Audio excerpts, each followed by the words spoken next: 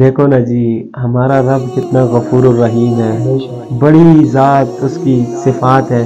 جب کہتے ہیں نا، مدینے سے بلاوا آئے تو پھر رنگ کالا، گورا، چٹا، یہ نہیں دیکھا جاتا۔ نہ دیکھا جاتا ہے یہ غریب ہے، نہ امیر ہے، صرف بلاوے کی دیر ہے۔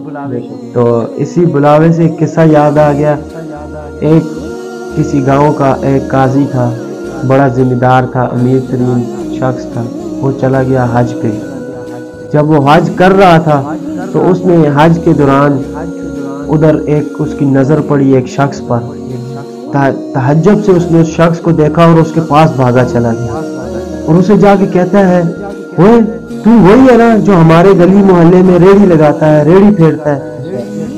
تو وہ آگے سے ہنسا ہاں صاحب، میں وہی ہوں۔ تو وہ آگے سے قاضی سے کہتا ہے، ذمہ دار اسے کہتا ہے تو ادھر کیسے آ گیا؟ تو وہ آگے سے پھر ہنسا اور بولا، او صاحب، میں ریڑی لگاتا تھا، میں ریڑی چلاتا تھا، میرا خدا تو ریڑی نہیں چلاتا تھا، نہ میرا خدا ریڑی لگاتا تھا۔ تو دیکھیں اس سے کیسے بندہ وہ کرتا ہے، وہ قاضی نے تعجب کیا، وہ ادھر گیا اور وہ ایک ریڑی لگانے والا ادھر چلا گیا۔